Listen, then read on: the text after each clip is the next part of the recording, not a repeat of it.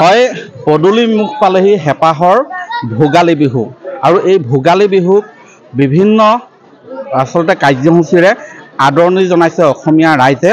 আৰু ইয়াৰ মাজতে মই এটা বিশেষ স্থানত উপস্থিত আছোঁ শিৱসাগৰ বগীদৌল মাজগাঁৱত বেজগাঁৱত মই উপস্থিত আছোঁ। আৰু বেজগাঁৱৰ মই এটা পৰিৱেশ দেখুৱাইছোঁ। ইয়াত দেখিছে এই স্থানত আছে সজাই থোৱা আছে।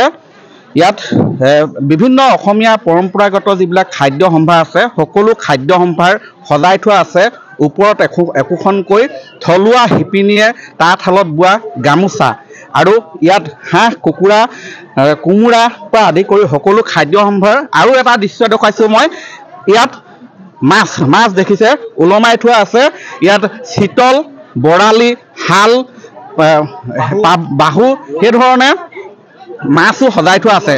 এই দৃশ্য দেখাৰ পিছত হয়তো নিশ্চয় আপোনালোকে ভাবিছে এখন সুন্দৰ ভোগালী মেলাত আহিছোঁ বুলি হয়তো আমি ভাবিছে। পিছে এয়া ভোগালী মেলা নহয় ভোগালী খেলা। ভোগালী এসাঁজ নামৰ এখন ইয়াত ভাগ্য ভাগ্য পৰীক্ষাৰ খেল খেলাইছিলে ভোগালী বিহুৰ লগত সংগতি ৰাখি। আৰু সেই খেলখনত মই উপস্থিত আছোঁ। এক সুন্দৰ দৃশ্য।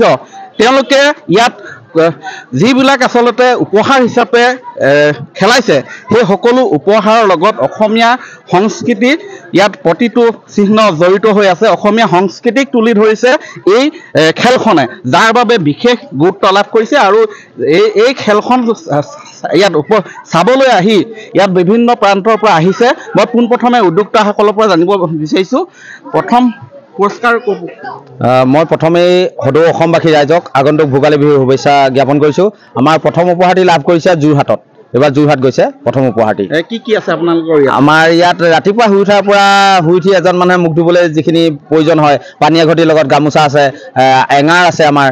এঙাৰ লগত তাৰপিছতে আমাৰ চাহৰ কাৰণে কেটলি আছে চাকনি আছে চামুচ আছে চাহপাত আছে। তাৰপিছতে আমি জলপানৰ বাবে ডুং দিছোঁ দৈ চিৰা কোমল চাউল সান্দহ সেইখিনি দিছোঁ। তাৰপিছত ভাত খাবৰ বাবে আমি কোমোৰা দহটা দিছোঁ পাতিহাঁহ দহটা দিছোঁ। চিতল মাছ এজনীৰ লগত আমি পকা বিলাহী বিছ খেৰ দিছোঁ। এইভাগে আলু দুই মোন আছে।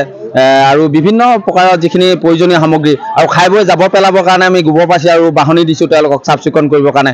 আৰু কিছু এখন ব্যতিক্ৰম খেল বগীদৌল বেজগাঁও যুৱ সমাজৰ উদ্যোগত এই খেলখন অনুষ্ঠিত কৰা হৈছিলে। আৰু প্ৰথম যি পুৰস্কাৰ পাইছে মই তেওঁলোকৰ সদস্য আছে আপোনালোকলৈ প্ৰথম পুৰস্কাৰ গৈছে।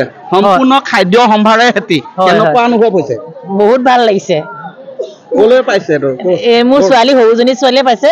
তাই যোৰহাটত যোৰহাটলৈ দিছো। যোৰহাটত? হয়। যোৰহাট নৱালি। হয় ভোগালী বিহুৰ প্ৰাকখনত মানে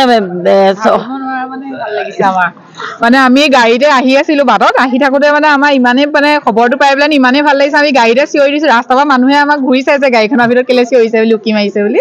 আমি মানে একদম ইমানেই ভাল লাগিছে বুজাব নোৱাৰা মানে। হয় দূৰৰ পৰা আহিছে।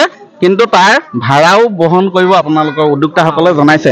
এয়া মই দেখুৱাইছোঁ সেই পৰিৱেশ সুন্দৰ পৰিৱেশ। এয়া স্থানীয় ৰাইজ আছে তেওঁ তেওঁলোকৰ ভাষ্য ল'ম। কেনেকুৱা লাগিছে খেলখনত? বহুত ভাল লাগিছে। মোৰ নিজৰ গাঁৱৰে টিকট লৈছিলে? লৈছিলোঁ। আশা আছেনে এতিয়াও বাকী আছে? আছে বহুত আশা আছে। এয়া মই দেখুৱাইছোঁ।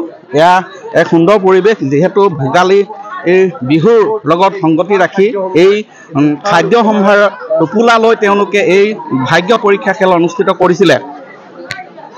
টিকেট লৈছিলে? টিকেট মই নাই লোৱা। আহিছে? কেনেকুৱা পাইছে খেলখন ভাল লাগিছে। পোৱা আশা আছে নে কিবা? নাই জানো? দেখি খাম খাম লাগিছে নে? লাগিছে। লাগিছে? লাগিছে। হয় মই পুনৰ দেখুৱাইছোঁ সেই দৃশ্য পিঠা পনাৰ পৰা আদি কৰি সকলো আছে। ইয়াত এই যি ভোগালী আচলতে ইয়াত উপহাৰৰ কুপনৰ খেল খেলোৱা হৈছিলে ভাগ্য পৰীক্ষাৰ খেল। এই খেলখনে সেয়ে বিভিন্নজনৰ দৃষ্টি আকৰ্ষণ কৰিছে কাৰণ ইয়াত ভোগালী বিহুত ভোগালীৰ এসাঁজ নামেৰে ইয়াত যি খেল অনুষ্ঠিত হৈছিলে তাত উপহাৰৰ বিনিময়ত উপহাৰ হিচাপে দিয়া হৈছে। হাঁহ, পাৰ, কুকুৰা, কোমোৰা পিঠা পনা আদি সকলো, যাৰ বাবে আজি এই খেলখনে লাভ কৰিছে বিশেষ গুৰুত্ব।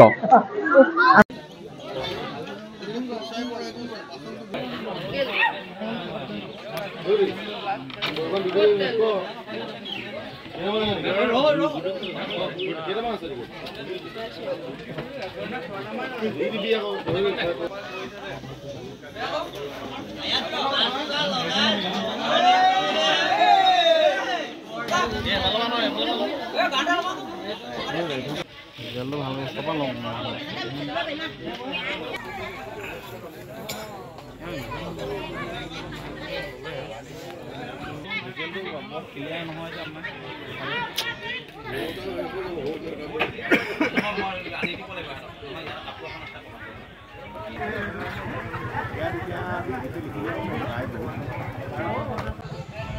মই সকলো ৰাইজকে আমাৰ এই খেলৰ মঞ্চলৈ আহি নিজৰ নিজৰ আসন গ্ৰহণ কৰিবৰ বাবে